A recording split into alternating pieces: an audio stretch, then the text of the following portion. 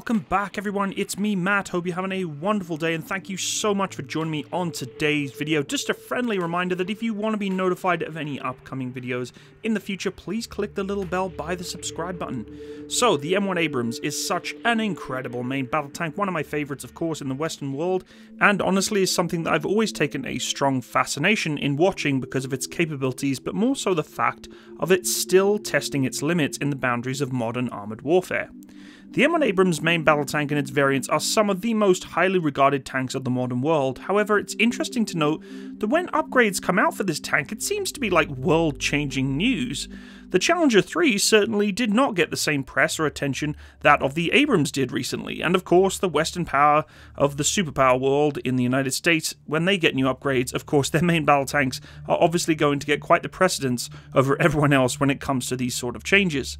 The irony is that the M1 Abrams is upgraded each and every time. It does bring some confusion when a lot of people don't quite understand the different capabilities and variants of the M1A2 Abrams and its SEP variants. This mainly comes down to the fact of when people think of change, they think of visual change or things that they can see that look different on the main battle tank. And with the M1A2, it's very difficult sometimes to see those changes because of the embedded systems or internal equipment, or if you're just not aware of how the tanks actually operate. For example, the Challenger 2 is going to be moved up to the Challenger 3 and will get a completely different main gun. That is a very big, obvious change that is going to change the way in which the hull and the structure of the turret looks so it's quite easy to know that that is a changed main battle tank. With the Abrams though, it's a little bit more cryptic. But that's what's more fascinating than anything else, though, is our huge curiosity in this and almost obsession, especially, of course, with the Western world for this tank. Now, each and every nation has its own personal favourite, of course, when it comes to tanks. If you come from certain countries, you're going to have a somewhat biased opinion towards each main battle tank, including obviously myself with the Challenger 2 and soon to be Challenger 3. And of course, my American viewers strongly oppose me saying that the Challenger 3 will be better than any M1A2 and its variants. Just kidding, folks. But hey, look, we're not playing the which is better tank game today. As you know, I don't really talk about that on my channel. But what I do want to discuss is what is it about the Abrams that continues to interest us and continue to keep us on the edge of our seats when it comes to upgrades. It's almost like a obsession to know what's the next big thing coming for the Abrams. How many channels have you seen recently in probably the last two to three years that, including myself, focused on this particular upgrade package for this tank more than any other. There's not many out there. I mean, RedEffect does a fantastic job of looking at the Russian world of main battle tanks, which personally, I don't think there's enough um, viewing on them. And of course, myself with Challenger 2 and Challenger 3, but this tank truly does take the forefront when it comes to any discussion about upgrades or its future, and it's really, really interesting. It's almost like a phenomena to see. One of the biggest reasons, though, in the fact of the new upgrades packages being so interesting is it tends to be because it's the unknown, and a lot of people are excited for the new M1A2 SEP V4 variant of the M1A2 upgrade package, now known as the M1A2C SEP V3. Now, if you know much about the Abrams, you would know that the M1A2 SEP V3 configuration really did feature some quite advanced new technological changes with new communication suites, fire control systems, increased lethality capability with new sighting system upgrades, and on top of that, it boasted better fuel efficiency, including some upgraded armor packages, and even with General Dynamic land systems pumping so much resources and money into this main battle tank, it continues to this day to retain a lot of its original design language from the baseline tank. One of the most interesting areas for the V3 package was for its active protection systems, and there's not a huge amount of discussion about this for the future package for the V4. Delivery of the last active protection system trophy occurred at the end of 2020 and was equipped for the Armored Brigade Combat Team of the US Army and US Marine Corps in 2018. Of course, this is prior to the US Marine Corps disbanding their main battle tanks. The US Army ordered 336 Abrams main battle tank systems with a budget equivalent to more than 400 million US dollars using the Trophy APS from Leonardo and Rafael Systems and began delivery in September 2019.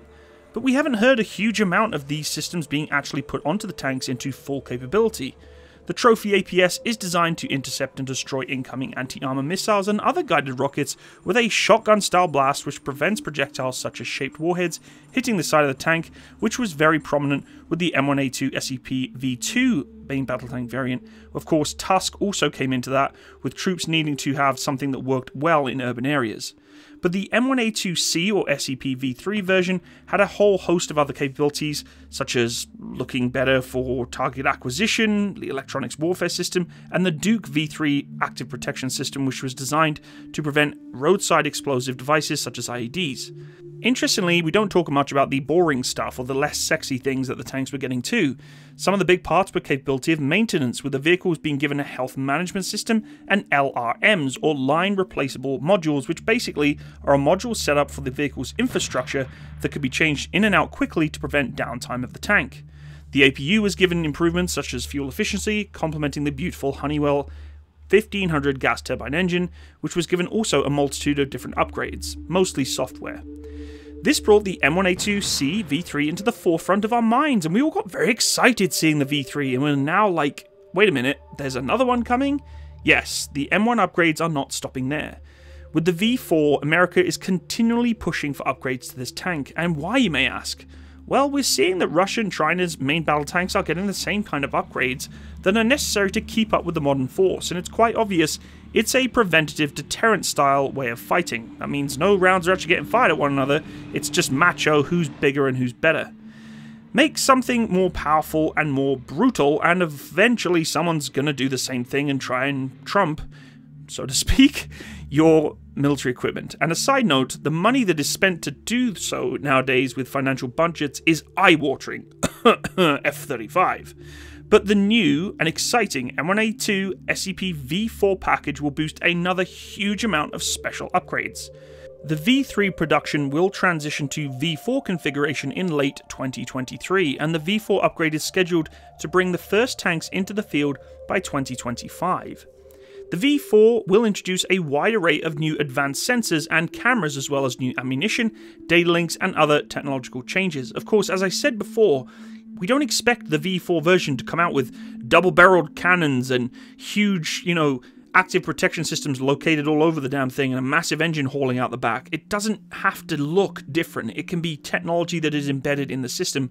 But that's why it's fascinating when people talk about Abrams upgrades. They think, oh, you know, it's going to get this new fancy turret, it's going to get, you know, a wider wheelbase or better tracks, whatever else it may be. You're not sometimes going to see these changes.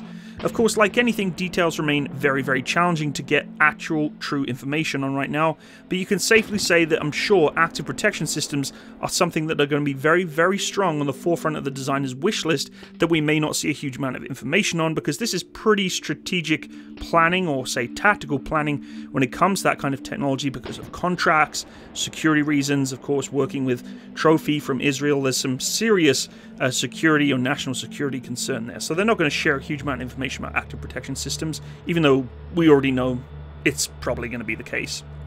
Also, big shout out to those War Thunder players who keep releasing restricted content about the Challenger 2 onto forums. Absolutely awesome, by the way. I'm not sure how that's happening, but it's like the third time, I think, that people have been trying to do that maybe they just not got the message yet. Um, anyway, some of the changes include uh, an advanced multi-purpose or APM 120mm tank round which will consolidate four rounds together and they are the heat or high explosive anti-tank, the MPAT, M 1028 or 1028 canister round and the M908 obstacle round.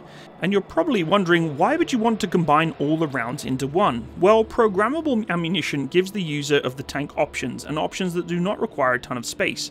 Also provides options that change the way in which you can actually fight the battle. Being that I am an artillery gunner, programmable ammunition is something I highly advocate for, because it also makes everyone's lives a lot easier. You're not trying to adjust and calibrate and set up your rounds or your weapon system for that particular round. It's just programmable and instantaneous, which just really prevents a lot of also user error. Now, the different types of rounds with different variants make storing them challenging inside of tanks. There's not much room, and the less ammunition that you need to place in there, uh, the better for the most part, because it's less that is going to potentially get cooked off or destroyed within a breach of the hull or an engagement. Uh, you know, we talk about blow off panels, things like that. But also because the tank's primary focus is to knock out other tanks, and if you've got a ton of different rounds in there uh, to take out whatever you need to do, whether it be you know, punching holes through walls, etc., uh, you're reducing the armored piercing, fin stabilized discarding sabot rounds. This gives the tank commander the ability to do just about everything they need to do, whether it be taking out small armored fighting vehicles, turning infantry into Swiss cheese, or blasting through McDonald's walls with one round, and it's game changing truly for the Abrams. Another discussion that's been going back and forth is the potential for the tank to utilize long distance rounds with wire guided missiles being launched from the tank.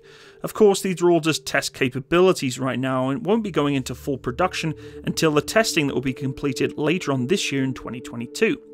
Now, Army officials explain that many of the details of the next gen systems for the future tanks are truly just not available for security reasons, but they did explain the lethality upgrade referred to as the Engineering Change Proposal, or ECP, which is centered around the integration of a higher tech third generation FLIR, or forward looking infrared imaging system, which allows the sensors inside the sighting system to engage targets more clearly. Rear view sensors and laser detection systems are also part of these V4 upgrades as well. Newly configured meteorological sensors will also give the tank a lot better anticipation and adaptation to the changing weather conditions or combat conditions for the gunners more quickly.